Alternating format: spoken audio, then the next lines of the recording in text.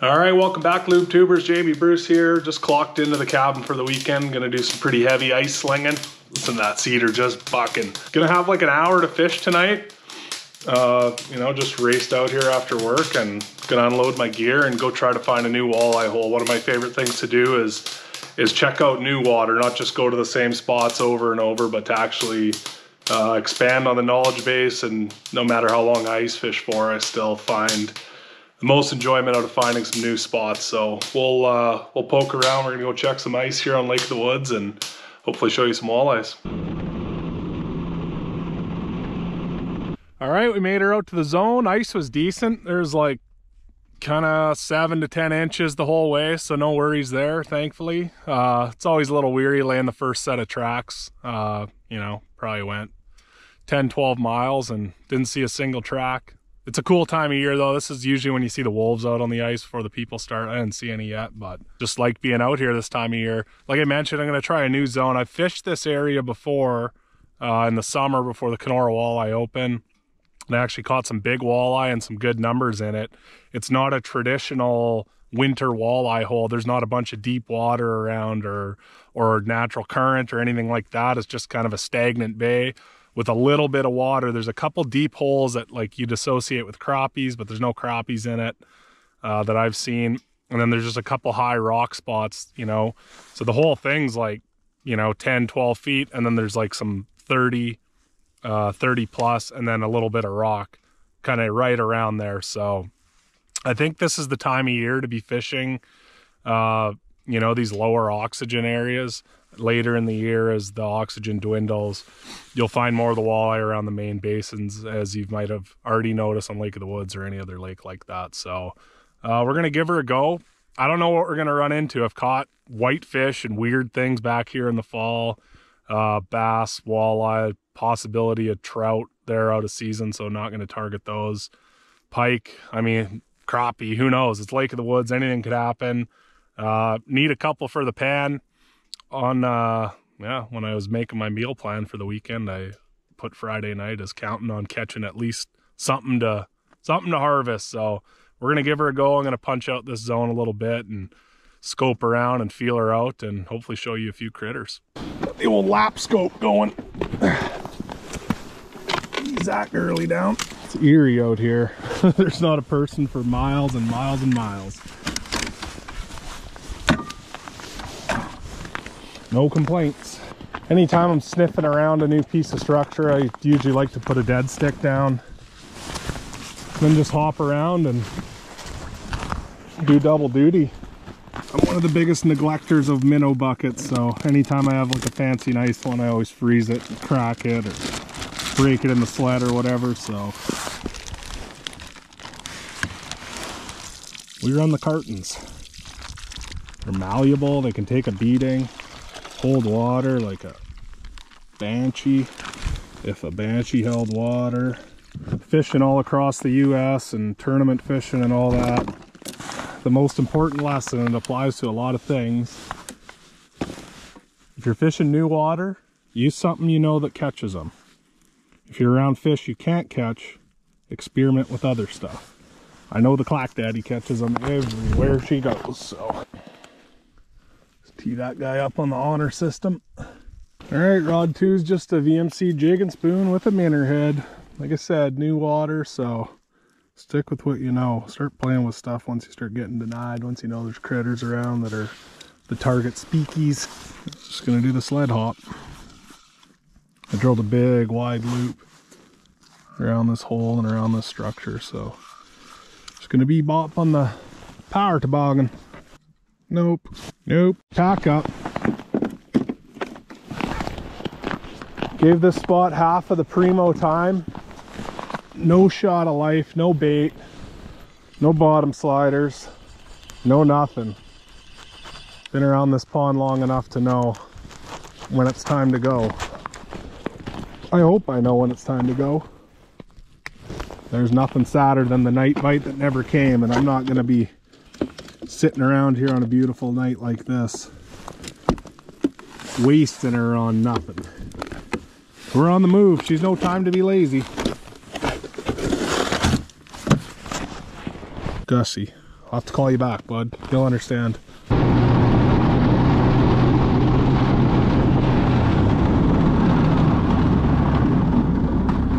Oh, I didn't strap her. I just still had her on hole hop mode. this poor auger's been run over, dropped off the rack, everything. That's why you're on the strike daddies.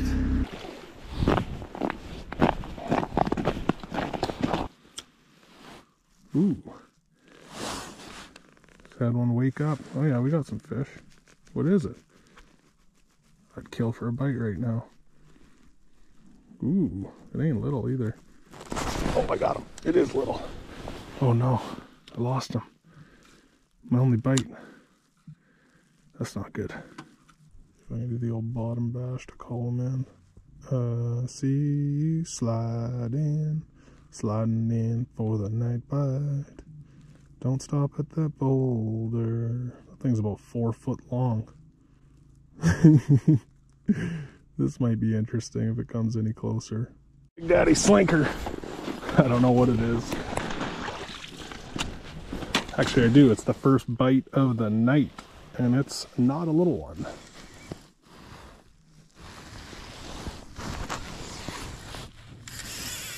Oh, she going for a ride, bub. I'm shocked if that's a walleye.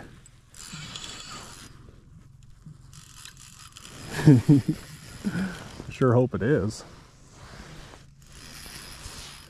Let the old Kaylin do her thing.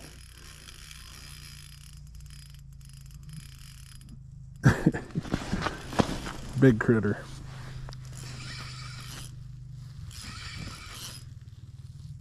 Got my 38 medium. That's why this is a good Lake of the Woods rod, because you never know what you're going to run into. It's soft enough for walleye and perch, but it's kind of right on that line where she's a Swiss Army knife. I'm nervous. and excited.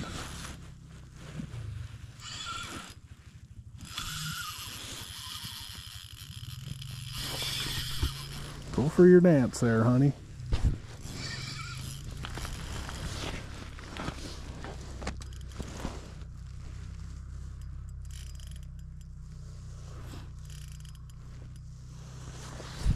I changed all my ice fishing spoon hooks out to red lines, so I like that extra strength for when you run into a big critter.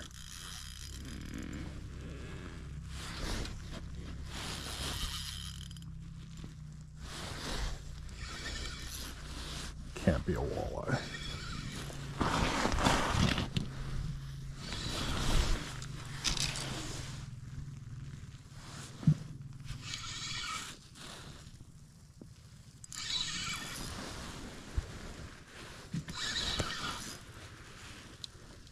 What do we got? the old Lake of the Woods never know.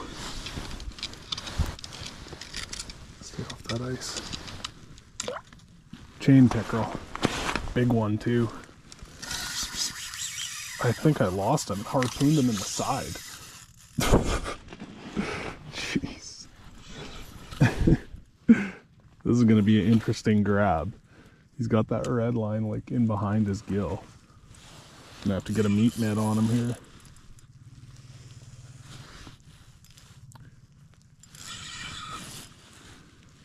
No wonder he felt so weird.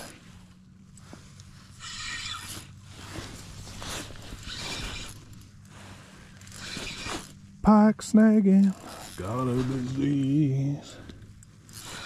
Snagged a pike at 415. Pike snagging, pike snagging.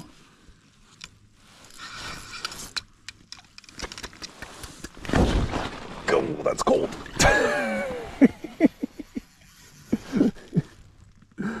she freezing.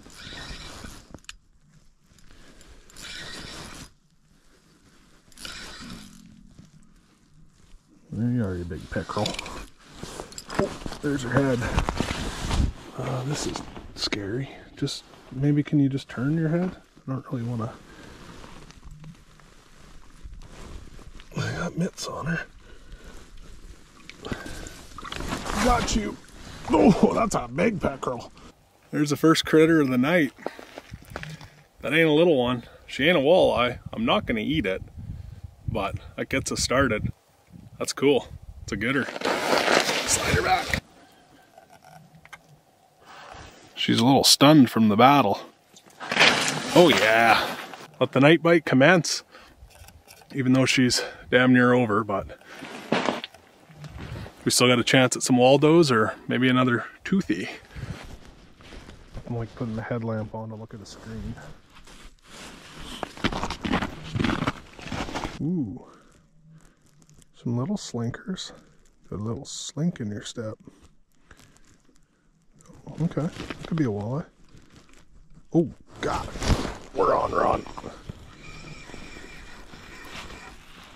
Yes, sir. Took all night. We're into the headlamp. And I probably should have retied after that pike. we got us some meat. Never give up. Oh man, they're coming like crazy. Relays. That's a beautician. Never gave up for a second. Just kidding. I was about to pack her in. But they were slinking hard there. Look at that butte. Eater Avenue, baby.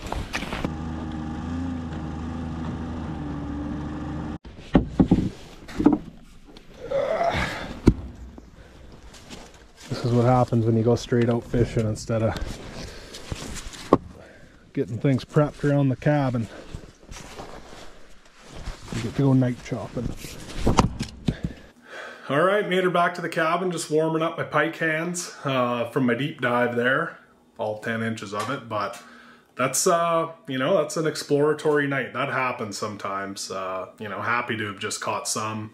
I got one there, I'll be stretching thin for dinner. Uh, the big rig usually needs more than one 15 inch walleye, but we got some premium sides to go with it, so we'll survive there. Um, you know, th this is kind of what I like doing in the winter is exploring a new area. Ash and I have been in this cabin for a couple years and uh, haven't really had time to like fully check the surrounding area out. And I mean, you never know where the mother load's going to be. I have found some good stuff that, you know, I'll go back to and this is what I like to do in the winter. So sometimes I strike out, sometimes I get a couple, and sometimes she's bang, shangarang. So I'm gonna get back at it the next few days. Gonna charge up my powerhouse, charge up my Strikemaster, and uh, gonna be hard at Lake of the Woods for the next couple days. Now that I know there's a little bit of ice out there, so keep your eyes peeled for some more videos to come, and don't forget to like and subscribe. And thanks everyone for stopping by. See ya.